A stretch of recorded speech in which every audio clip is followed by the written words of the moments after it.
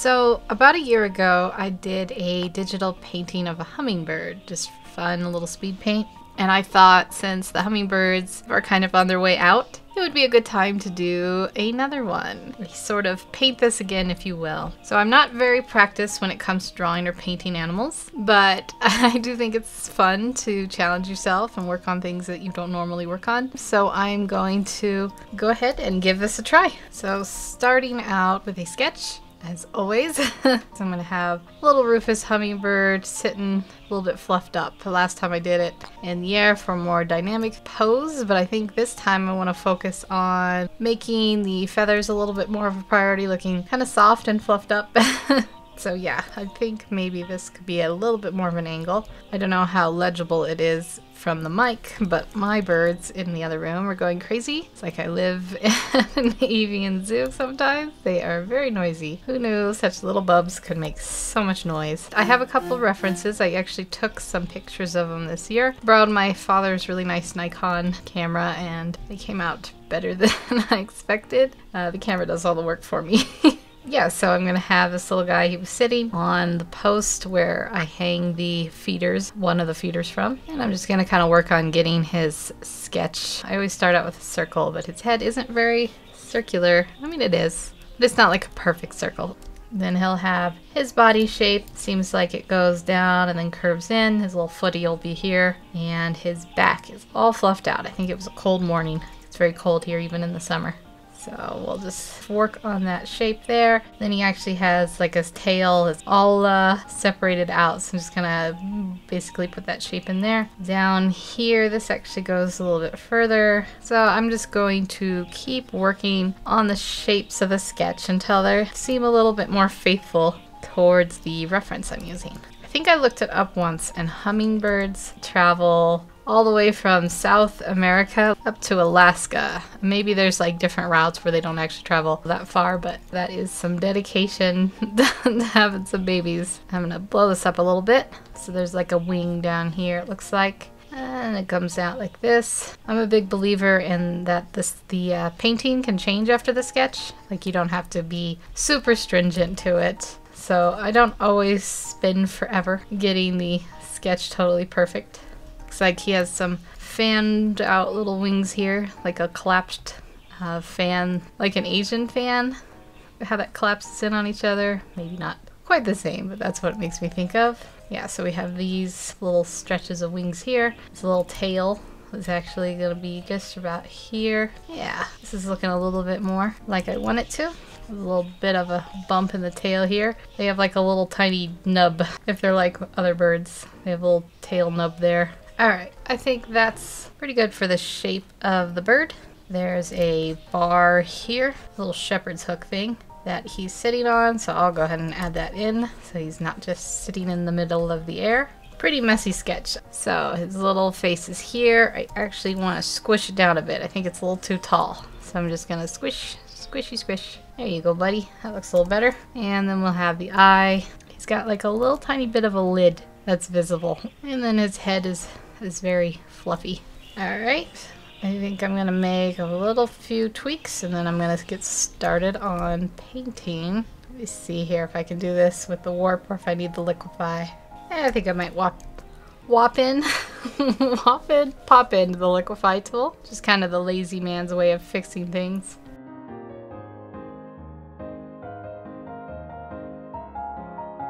Alright, I think that's a good enough sketch. Time to move on to coloring. I'm going to start out, this particular hummingbird is sort of an orange, red, brown color, so I think it'd be nice if the background was really blue, like the sky. So that's probably a good blue.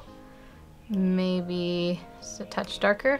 Then I'm going to make a color layer and I'm going to block in some colors. And to start, I do want some texture later, but I think to start, I'm just going to go with the normal soft round brush. Yeah, we'll have it at 100% opacity and maybe 18% hardness. And we're just gonna start uh, blocking in some colors. So the main color, I'm gonna pick neutral orange and probably just fill the whole thing in just so I can just see the shape just in color form.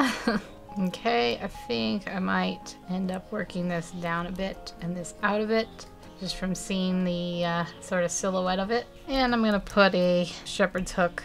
Spell shepherd? Probably not. put a shepherd's hook layer just so I have that down and out of the way. I don't want it to be that dark. gonna be catching quite a bit of sun. So we'll just pop it in like this under the little Rufous just to have something underneath our little guy and then we can see these color areas better. Alright, let's turn down the sketch a bit. I'm to make a clipping mask, but I don't know if I will always work on it because there's a lot of little feather fluffs later that I might add. But for now, to make it a little bit easier to block these colors in, I want to get the next bit in to be this brown color. Nice saturated brown color. Sits right under here and lots of little fine feathers in this area. So I'm just gonna plop them in a bit like this. They seem to go out to the cheek area, a little bit under the eye. I might need to come down a little bit. And it kind of bleeds over in the reference to the wing area. So I'll just splotch some of this in. There's a little bit of a rounded shape here. Don't want it to overcome all of it. Yeah, something like that. I just put these in so, like so. And then there's just a touch in the tail. They're actually pretty much getting overridden, overridden by the purple. So I'll just put it in like that. Kind of work it in by the purple. there's no purple. All right. And then there's some whitish color that we'll just put in sort of under here. And it's sort of in a, like a triangular shape. And then it goes down like this. So get that fluffed out. And then it kind of rides the belly a little bit. Let's turn our opacity down so that it rides the belly but not full strength like that. And then we can overshadow it a bit like that. Okay, uh, we want a little bit of that brown up here. I guess I'll just keep my opacity down for now. There we go. And to go back to this bottom layer and I'm going to put in a dark blackish for the beak. Uh, let's turn our opacity back up. That's a weird glitch. Does that to me sometimes. There we go. Okay, and then we'll come back to this top layer, finish it off. There we go. Okay, so we got that. I'm gonna merge those, make a new clipping mask, work on varying these blocks of colors. So for this one, there's a darker spot. Let's turn our opacity down to like 26. Even darker than that, I think. Darkest part of the little bub. And we're just gonna put it in like this. I have no idea how I'm gonna do these little textured things. I might just do them a little bit like this. I could do them with like a uniform brush, but I never think that looks as good. So maybe I do this. We'll just see how this works. Alright, they're actually a lot smaller than that, but for a general idea, I'm going to leave it like that. Um, this part over here is a little bit in shadow, so let's get a block of that going down here. It looks like a little bit like a more wispy feather, so I'm just going to keep a little bit more of a straight texture there, like so. Blend this in a little bit more down here. Over here is actually very red. Let's pick up a nice red ish color, reddish orange. Uh, I want something a little more saturated. Let's go into the danger zone to get this color. There we go. And then I'm just gonna start blocking this in. There's a couple places that this shows up on the birdle, so I'll work on getting some of these just painted into the general areas. Yeah, there we go. Little Bertle. Some of that fabulous red. He's got to attract all the little ladies with his beautiful feathers. He's like, hey ladies, check this out. I got all the vibrant colors. I wonder how they get such vibrant feathers. Like fish, they get really vibrant colors in their scales and stuff. And then their feathers for birds. Interesting. As far as I know, they only drink sugar water, right? Maybe they eat some bugs. They're, who knows? Something they've been eating or drinking must have been giving them some vibrancy. All right, I'm gonna put his little foot in. I'm gonna merge these and put his little foot in. Before I forget it, it's just this little toesy right here. Let's turn my opacity up. Yeah, he just got a little toesy right here. It sits under most of the feathers and you can kind of see another one right under it. Like that. Little tiny, tiny foot. Okay. And I'll go back to the clipping mask, bring my opacity back down, and I'll blend some feathers over that little foot. It actually has like quite a little bit of a feather marking there. All right, we've got our dark reds. Now let's get some bright, vibrant yellows, and we might go in later with uh, some blending brush options to really get these to pop, but for now I want to kind of just mark them in where they are. So there's a few here, a little bit under his eyeball, a few catching in the sun. These radiant little Birdo colors. There's like a cheek area here where he's got quite a few. And uh, I kind of missed some reds. Let's get a more vibrant red and patch this in. A little bit of red here and then the corners of his eye here. Get those marked in. Go back to the yellow. These, uh, this Rufous type of hummingbird is real cute, but it is definitely the meanest. There's some like green ones and they have like a white belly and a ruby ruby feathers on their chin. And they're they're they're little nice bubs. I mean you'll see the four of those green ones at once sharing a feeder. But these rufuses are campers. They camp out on the feeders and they don't let anyone no other birds come up and drink from them or nothing. Jerks. Little baby jerks. Okay so let's get these wings a little bit more detailed in. I sort of missed the mark on these. I should have put the red in here. I'm going to use the yellow. I'll go back over with red in a bit. Uh, I guess I'll merge these because I want this to come down like that. Put a few more little streaky bits in here. Let's make the brush a little smaller where the uh, wings are. Yeah, we'll have to clean this mess up a bit. but for now, I want to get this in. There's some really vibrant yellow marks here. They're almost like green. Yeah, put those in. In fact, let's get a nice little bit of green. Can't hurt to add a little splash of extra color. Just like the fish, they have some strange rainbow iridescent colors. Okay, maybe even add a few little green dots, just really unnoticeable, but there. Give it a little bit more color variety. Okay, now I'm going to take some of these less, a little bit less vibrant yellows, kind of work in some patchy colors there, up by the back of the head here. And we're gonna have to eventually go in and do the same thing we did down there. Make some, some little feather poppies, popping areas here. Oh, that's a bad messed up area. Let's get some red in here while we do this. Go back to the yellow. Maybe not the uniformal shape. I might come back and touch that up. Let's get this dark in here and we can sort of go over some of these that didn't work out and keep going over them until they look more like the shape I want. Just sort of wipe them out for now. And then come back in, redetail them, no biggie. Let's add a nice red color here, like the light is hitting it. It's a nice peach, maybe. Get that established here, like there's a little bit of light coming in here, shining off the things. A little bit back here, a little bit over here, in the back area here. And then let's get some of this orange that I kind of messed up and didn't get in the wings in the first place.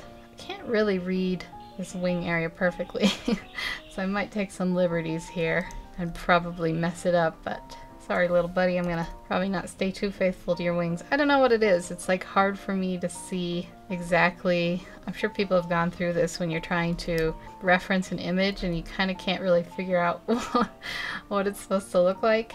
I get that a lot. I just have to keep working on it and practicing it. Eventually you'll kind of figure out how to place what you're seeing. There's some splashes of color here that have gotten eaten out by the others. Pop them back in there. You can even give them some texture. All right, let's do the eyeball. And then I'm gonna kind of get rid of the sketch. Maybe I'll do the shepherd's hook a little bit more. But the eyeball is just going to be in here. Let's get this shape right. And there's a little bit of a lid. Actually, let's just uh, turn the sketch way down now. See this a little better? A little bit of a lid to this eyeball here. I'm on the sketch. I was like, why isn't any pigment coming out? Uh, I do that all the time. Okay, little tiny bit of a lid here. And uh, down here, sort of get that shape. Then we're gonna get some light right on the edge of the ball here, and a little dot here. Little guy, getting some light there. Tiny bit of light. I'm gonna use this yellow to cheat it on the lid up there, and a little bit down here in like the tear duct area. All right, there we go.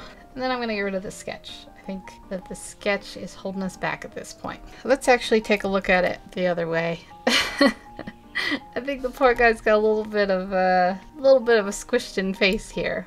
I think the eye and everything is okay. We just need to work on building this out a bit. So I'm gonna turn this back up and kind of work on building that out just a touch. Up here, yeah, maybe even a little bit more. Yeah, that looks like a better shape. Okay, let's get a darker, darker color here. Get that mixed in. In fact, we'll have the whole belly be a little bit darker there. Let's go to color dodge add a few little highlights. Uh, maybe not at 24%. and we'll turn our hardness all the way down. I want to go in really make some of these highlights pop on the little birdo. So just sketch a few in here. I think we're almost done. This would probably be a good time to just sort of finish the rest up in a bit of a speed paint. So yeah, I think the little birdo is good. I'm gonna finish up the details, just gonna speed through them, speed paint them, and I'll meet you on the other side of that. So here we go.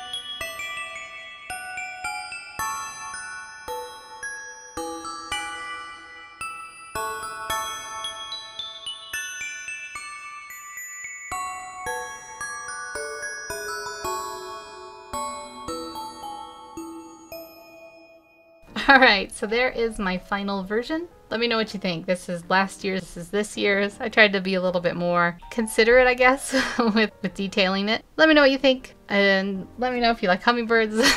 Just come say hi. I hope you have a wonderful day. Take care, and I will see you in the next video.